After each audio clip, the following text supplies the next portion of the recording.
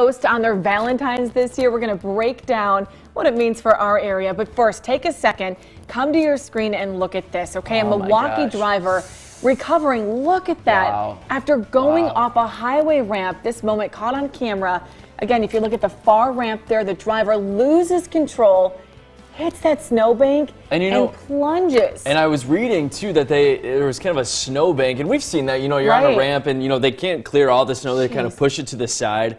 Uh, so we just got close enough that that snowbank just like launched his car in the air. Uh, they said though people came to his car.